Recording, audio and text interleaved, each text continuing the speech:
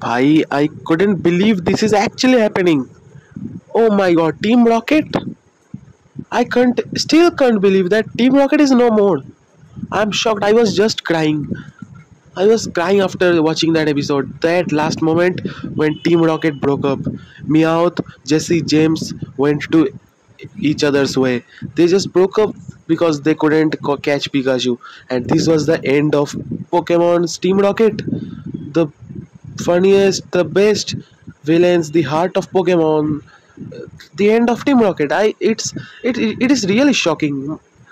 You mean uh, they are the main villains, and they had so much with the anime series. They had more to give, and they have given a lot. We always laughed, we always enjoyed the moments with Team Rocket, and now we have to witness that Team Rocket is not going to appear again. This is the dark day for Pokemon fans once again. First, Ash and Pikachu left. Now, Team Rocket are leaving. That's that's okay because Ash and Pikachu, uh, if are not in the series, then what will Team Rocket do? But why should they actually break up with each other? Why why don't they? Why cannot they stay together like a Team Rocket? The Team Rocket has come to an end. There is no such Team Rocket now, according to them.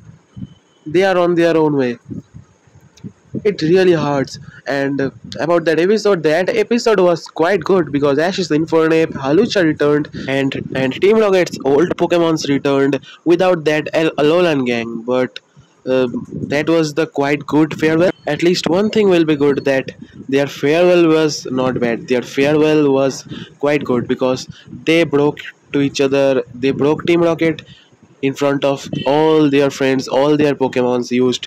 And they are not actually so mean guys. They are good in their minds but uh, you know what? They couldn't show that. And uh, the best farewell till now in pokemon and also the saddest farewell. I don't know how i will react after ash's farewell in the series. I don't know but i'm really shocked today after it.